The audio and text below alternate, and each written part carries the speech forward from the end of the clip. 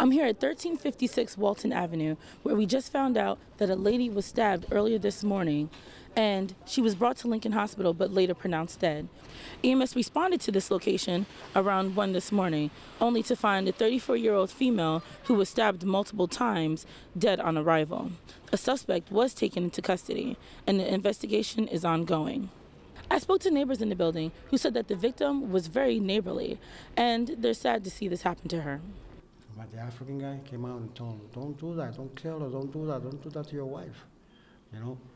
And he, he kept stabbing her, and then he locked himself in the, in the apartment. Yeah, very neighborly. We should talk to everybody in the neighborhood, everybody.